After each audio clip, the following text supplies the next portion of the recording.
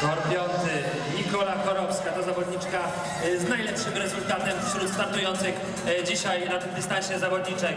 Y, Przypomnę, 23-38, a teraz na prowadzeniu. Jako pierwsza biega na ostatni wiraż i jako pierwsza biega na e, linię e, mety faworytka 23-46. Znakomity bieg już w eliminacjach zawodniczki Alka.